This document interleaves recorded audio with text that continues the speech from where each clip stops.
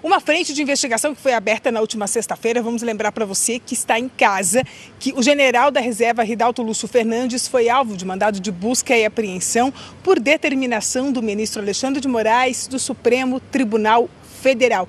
Qual é a suspeita? Duas. Uma é que ele tenha ajudado, auxiliado o início da invasão, principalmente no Congresso Nacional. Imagens que estão sendo analisadas pelos investigadores mostram que algumas pessoas teriam conseguido entrar pelo teto, com técnica, com treinamento. O chamado Kids Pretos que é um grupo de força especial do Exército, faz treinamento justamente para atuar nessas áreas em que há uma conflagração da população, inclusive para utilizar técnicas de sabotagem.